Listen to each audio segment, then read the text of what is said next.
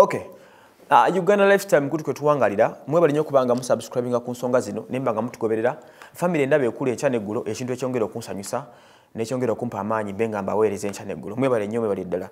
Wasa emmanuel gemanya gange kubanga mbatuusako byemwetako kubanga mumanya diners hotel yateekamu st darenas ekawanda ku idi tulinawo david lutalo chosen becky ne swaba kasumba. Okuyingira omutwalo gumu. Tubeereyo tusibulukireyo kakati uh, waliwo omwana mulenzi ono edi kenzo bulijjo mujja mumwogerako ebikyamu.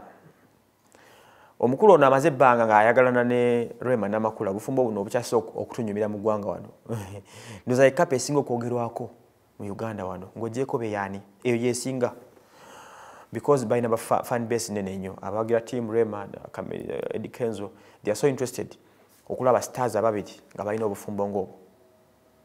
Bano abakulu fumbo bwabwe bubeera nnyo mu buvuyo ne mu kuyugayuga era nga nemabegakaawo it was alleged nti rema yaddukako newaka n'agenda. Noluvannyuma n'akomawo mufa mu bufumbo nga babuddukanya kenzo ono yavuddeyo n'awanda omuliro nga mumanyi enkola yeweteri nti etasiba zikweya kasita omuyingira akuyingira bwatyo n'agamba yadde ku interview n'abuzibwa ku nsonga za, za rema nti lwaki obufumbo buli yugayuga lwaki tebastabilizinga ne bakola ebintu ebibayamba okusobola okugenda mu maaso. N'abandukula n'abagamba nti mbabuulira amazima nze ed kenzo tewali ansinga kumanya rema ne amaalo nolwekyo mutwesonyi bannamawulire bagenda nga mutwogerayogerako ebigambo ebikyamu.